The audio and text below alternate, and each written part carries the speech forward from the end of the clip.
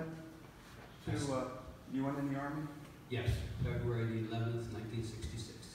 Okay, so you had a year and a, about a year and a half of training, and you were sent to Vietnam. More than that. Okay, so you're 66, 67, so you had almost two years of training? My orders for overseas assignment uh, to a restricted area came in September of nineteen sixty-eight, Okay, so you're two and a half years. Two and a half years. So you were in training for two and a half years. And some missions, And then into country.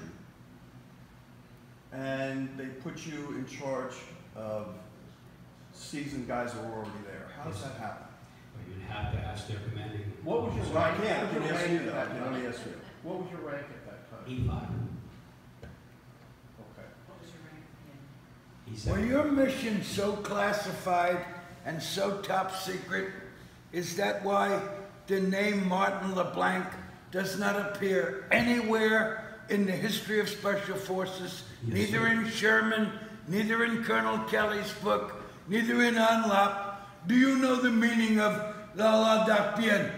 Sir, my records were sealed. Sorry? My records were sealed. Your records are sealed. For Oh, obvious reasons, I will not appear on a So you don't have a DD 214? Yes, I do. You do? I have several. Can you produce it? You know, we're not here to answer to be grilled. If you would like to meet with Martin and me separately,